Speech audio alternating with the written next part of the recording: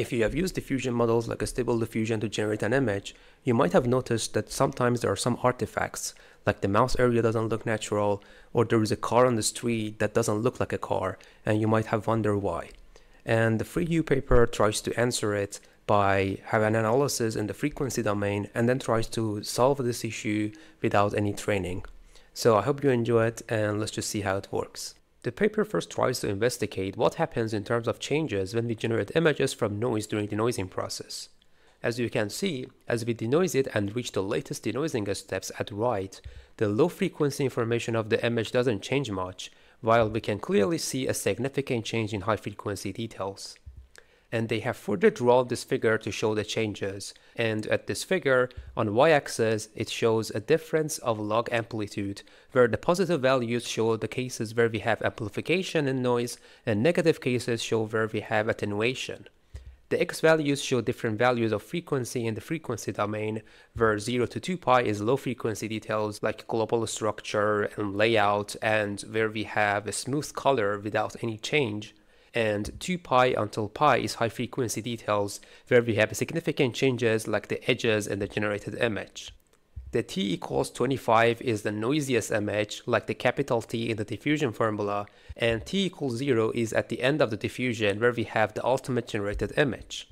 On t equals 25 you can see we have the noise so we amplify the high frequency details, but still when we look at the low frequency details, we don't amplify them much. And even at the early denoising step where it looks like a pure noise, we still have some formation of the layout and the model doesn't amplify them much because that means the global structure of the image is changing and that reshapes the image essence. And as we denoise it and get closer to step 0, we see that we always have attenuation in the frequency, but this attenuation is more for high frequency details and less for low frequency details. And once the authors in this paper understood how the denoising process works in terms of changes in frequency, they further extended their analysis to understand how the denoiser backbone, that is U-Net, works. The denoiser U-Net is made of a primary backbone network made of an encoder and a decoder in addition to skip connections that transfer information between encoder and decoder. To understand the effect of primary backbone versus skip connection in denoising process, they define two scaling factors B and S to control each branch. The B scale just multiplies the main backbone features by a scale and S-scale is used by first tuning the skip features into frequency domain using FFT and then scaling them by S and then turn it back using IFFT. The reason why they use FFT and IFFT for this skip feature branch is probably because of this figure. This is similar to previous figure I showed you, but at a particular time step of the diffusion. The orange one is for backbone, and you see that the backbone features attenuate a lot, at high frequency, while purple one for a skip connection doesn't attenuate much. So we can kinda conclude that the skip connections of the U-Net should contain the high frequency data since it doesn't attenuate much and backbone features are representative of low frequency features. And to visually show this, they use the sample where B and S are both 1 as if we use the denoiser of diffusion without any modification.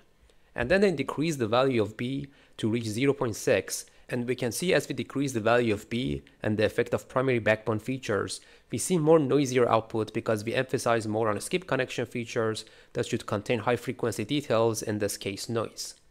And as we increase the value of B, we see a result with a better quality, but at the cost of being too smooth as we amplify the low frequency details. And they have also shown in this figure that as we increase the value of scale B, we have more attenuation in high frequency information. But on a scale S, when we change it, we don't see much of a difference except some tiny high frequency details that are modified like the edges on the arm or how the sand looks like. And then upon this analysis I showed you, they proposed FreeU as a method to enhance the quality without any training or fine-tuning. All they try to propose is a way to make the scaling of B and S that I showed you before adaptive. The first thing is backbone factors, which has to scale the primary backbone blocks.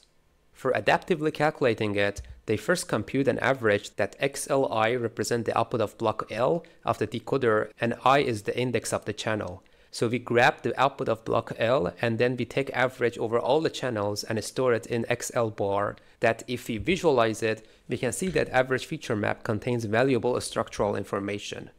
Having this in hand, they define the scale factor for block L using this equation. And looking at the equation, they first normalize the average feature map to ensure that it is between 0 and 1, and then multiply by BL hyperparameter that is higher than 1 and has to scale it, and finally plus 1 to ensure that this alpha L for each pixel value is at least 1. And this equation, if you look carefully, it is adaptive because for the area that we have structural information like edges of a squirrel or balloon, we have higher values in the average feature map and we amplify those regions more than the others. But still they have seen that applying this scaling leads to an over smooth texture in the result.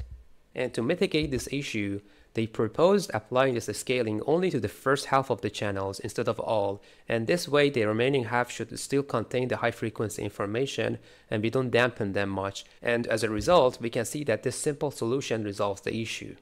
And the other one is skip factors that looks like the one I already told you by applying FFT and IFFT, but the difference that we have beta instead of a scale S. And the difference is that this beta scale value rescales only if the frequency value R is less than a threshold and attenuates them by replacing SL value that is lower than 1. And for all the others, it keeps it as 1. And visually looking at the effect, you can see that when we add this skip factor, we have more low-level details. And that was all about this FreeU. I hope you enjoy it. If you did, don't forget to like and subscribe. And until the next video, goodbye.